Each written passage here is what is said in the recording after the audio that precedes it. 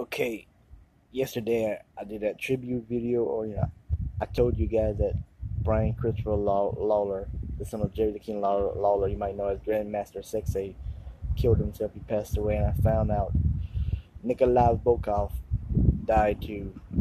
Uh, I think he just died of natural causes. I, I'm not sure. I just saw that opening on Monday Night Raw last night, so rest in peace, Nikolai Volkoff. You probably might remember him for being that bad guy Russian.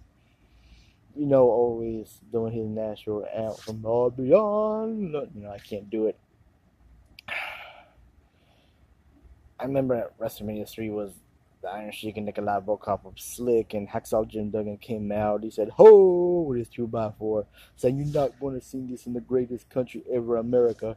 In the first WrestleMania, when Nikolai Volkoff and Iron Sheik won the tag team titles with their manager Classy Freddie Blassie against Mike Rotunda, Barry Windham and with Captain Lou Albano, in their corner.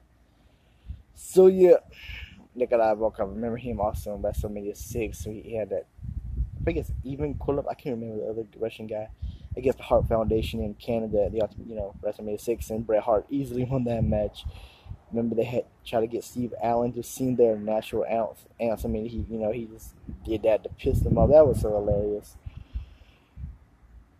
I don't know his real name, the Nikolai Volkoff. Oh yeah, I remember him being in Cyndi Lauper's "The Goonies Are Good Enough" video. You know the movie The Goonies. He did that music video with Cat Bano, Cat Classic Freddie Blassie, the bad guys, right around Piper at the time of the WWF in 1985.